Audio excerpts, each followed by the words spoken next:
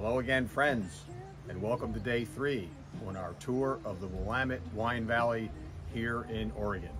Our first stop today is at one of the older wineries in the region, Elk Cove Vineyards in Gaston, Oregon. And as you can see behind me, the beautiful Pinot Noir vines planted in 1975.